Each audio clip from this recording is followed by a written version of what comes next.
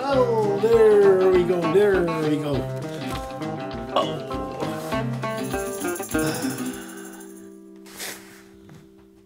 Five and a half kilos of tattoo history.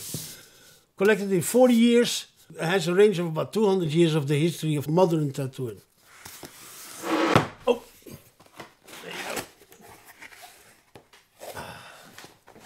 This is gonna bust my balls in the in the bookstore having me signing these things. There you go. Ladies and gentlemen, size matters. Also on the bookshelf. This is my dick on your bookshelf. I mean, look how big the thing is. this is the biggest book in tattooing. This is this is the biggest book there is. This is what the tattoo world deserves. A good publication. This is Taschen, eh? and Taschen is actually the only publishing house who could do something like this, who, who, who makes this book worldwide.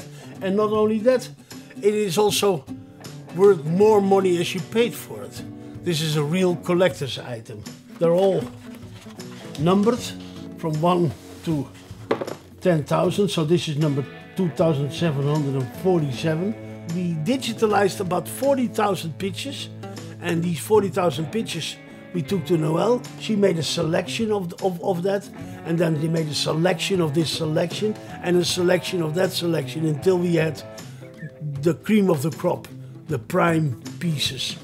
In the museum, you used to be able to see these books, but then they would be open on one page. Now all the pages are in here. The whole text of the book is my my personal history through collecting and the stories on how I collected stuff and where I went to find this stuff. Uh, actually, a lot of this stuff is at this moment very, very hard to collect. Prices went up in an incredible way. Right now, all this stuff is museum worthy. 40 years ago, nobody gave a fiddler's beep. okay, we have five chapters. There's, of course, the introduction, the flashback, a life full of tattoos, in which I explain where this stuff came from and, and, and, and what it means to me. Then there is chapter number one, the tribal tattoo, which is a whole chapter dedicated to, to, to primitive tattooing, to the, to the early days of tattooing, the days that the first explorers went to all these islands and, and made engravings and, and, and, and etchings. Then there is, of course, a section dedicated to the ancient art of Japan, the Japanese tattoo, still probably the most beautiful type of tattooing in the world, hand poked. All these pounds of colors and all these beautiful grays of a tattoo that communicates a well executed tattoo which lasts you till 14 days after rigor mortis. This stuff will stay with you into the grave.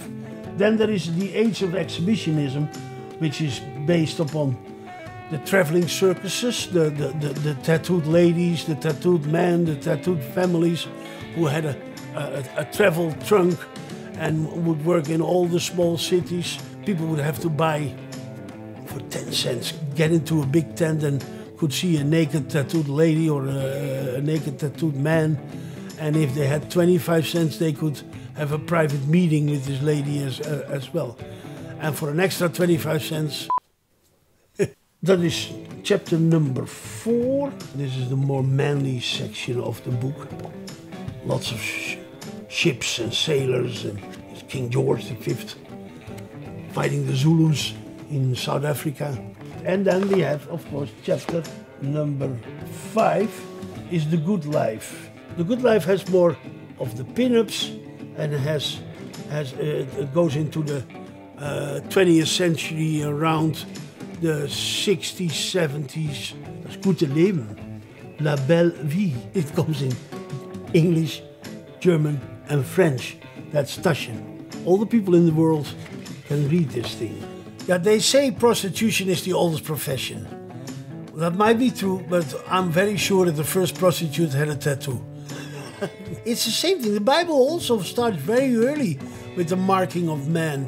It is Cain and Abel, and Cain murders his brother, and God sends away Cain with the sign of Cain, the marking of the brother murder. In the Bible, that's the first marking of a human. That's pretty early. Adam and Eve, Cain and Abel, So number four of the human being is already tattooed, and God the tattooer. Well, if I get there, I'll teach him a few tricks. Should send one to heaven.